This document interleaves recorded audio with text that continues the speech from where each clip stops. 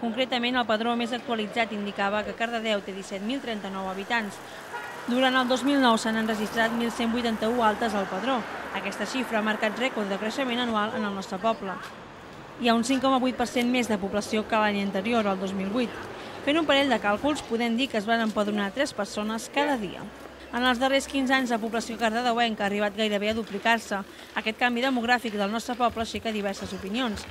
Alguns volen que Cardedeu segueixi creixent en el seu nombre de persones i d'altres prefereixen que segueixi sent el que és ara.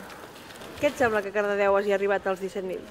Em sembla molt bé que cada vegada vagi a més, sempre i quan tot el que correspon a cada un estigui com és el CAP, com és eh, l'assistència sanitària, com és que atenguin bé a les persones grans, als nanos, als col·legis.